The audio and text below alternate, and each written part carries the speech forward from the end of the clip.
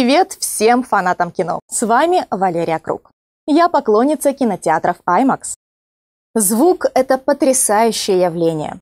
Он помогает нам распознавать то, что мы видим. Поэтому, когда мы смотрим фильм, звук играет огромную роль в процессе правильного восприятия происходящего на экране. Даже самое простое изображение может иметь совершенно противоположный смысл в зависимости от звукового сопровождения. Взять, к примеру, эту лампочку. Когда мы слышим звон, она символизирует одно. Но если изменить его на гудение, лампочка уже будет иметь совершенно другое значение. Говоря о лампочках, каждый знает, что скорость света выше скорости звука, не так ли? Если быть точным, 870 тысяч раз выше.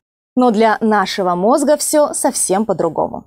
Мозг человека может определить звук и источник звука менее чем за 50 миллисекунд. А это от 5 до 100 раз быстрее времени, которое мы тратим на обработку визуального сигнала. Это говорит о том, что во время просмотра картины мы воспринимаем больше звуковых сигналов, чем изображений. Наш слух всегда на передовой.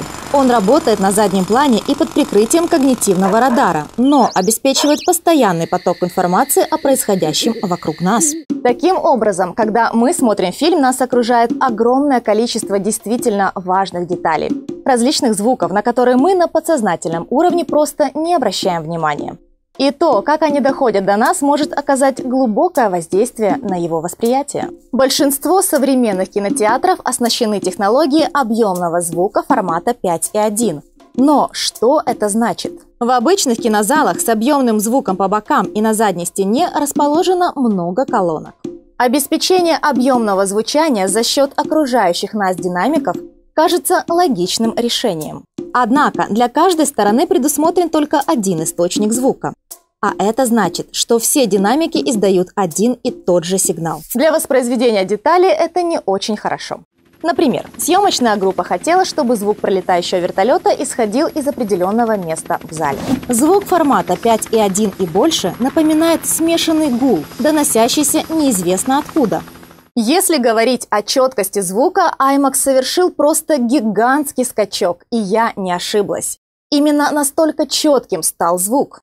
Технология создания звука в формате IMAX уникальна. Не имеет значения, в какой части зала IMAX вы находитесь. Каждый звук слышен в мельчайших деталях, воссозданных в точности, как и задумывалось съемочной группой. Лазерные динамики установлены и направлены таким образом, что вы можете точно определить источники звука. Вы не ослышались, именно лазерные. Ведь мы уже одной ногой в будущем, где низкие частоты настолько глубоки, что их можно в равной степени как услышать, так и прочувствовать.